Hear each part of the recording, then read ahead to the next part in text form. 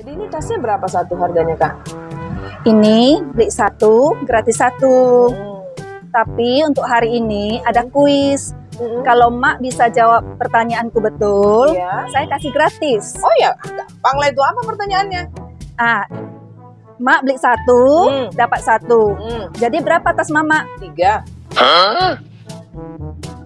Tiga lah. Tunggu ya. Ya, tiga. Dua lah. Tiga. Beli satu, dapat satu.